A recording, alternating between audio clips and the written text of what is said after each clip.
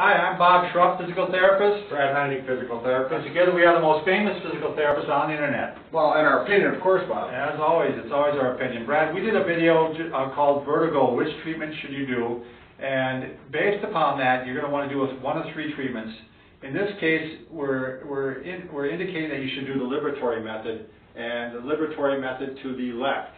So symptoms for this would be, that you're, when you, and, you know, vertigo is a spinning sensation. Sure. And if that spinning sensation is coming on when you turn to the left, and it's lasting for a, a little more than a minute, not less than a minute. If it's less than a minute, you can do the canalith repositioning treatment or the Epley. Sure. But if it's more than a minute, and I'm not talking about 15 minutes or 30 minutes, but just maybe a little more than a minute, then you should try this liberatory method. okay. Okay? So it means if you lay on your left side or turn to your left, and it produces symptoms. Spinning, and the spinning lasts for more than a minute. Okay, All right, also, we want to make sure that you have, that your neck is okay, that you can do this, that you don't have diffusion or, or rheumatoid arthritis.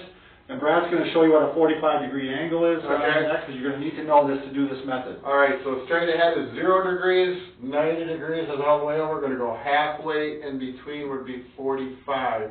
So that's to the left and obviously to the right. If you do not have that range, some people, you know, cannot move their neck, and if you don't have that range, is this gonna work, Bob? No, it's not. Okay. There's other methods they can try, but you're going to probably have to have a professional do it. Sure. Brad, why don't you sit in the middle here? We're doing the liberatory method to the left, Okay. but you actually start with the head forty-five degrees to the right. All right? With that, in that position, you're now gonna go on to the left shoulder. He's still forty-five degrees to the right, but he's also gonna bend his head twenty degrees down. Hold it for one minute. One minute. Little minnow. So when I do this, I get someone to watch a class for me, I have my digital thing, and I, I time it pretty accurately. Sure.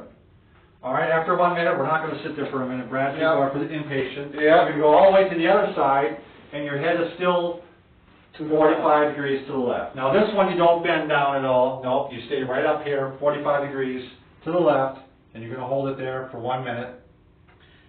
And if they're getting dizzy with this, if the symptoms should reside, is? Yeah, we're hoping this, the, the symptoms are gonna start to lessen as you get in this position. Keep your eyes open.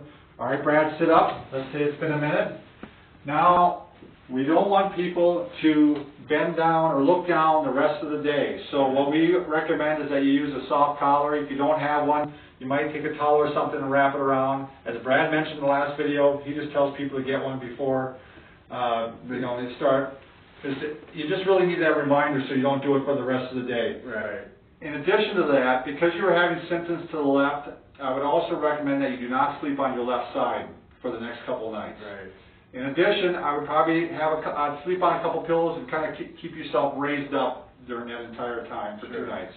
So after the treatment, the rest of the day, head up, so you, you can't look down, Right. and you can't bend over, Right. and keeping like a book on your head. You But- can't even bend down to eat, you know, Right, nothing. right. But then after that, then they can do that. The next day they can, but just to give yourself a little bit of more of a boost, I'd still sleep with your head up and I won't sleep on that left side. For two to three more nights. Yes, two or three more. nights. Okay. Yeah. If this isn't successful, see the doctor. Yeah, well, you, you should, the doctor should be involved all along here anyway, but, uh, I, um, yeah, see your doctor and, and, uh, um, you, you may have to try something else. Sure. Good luck to you.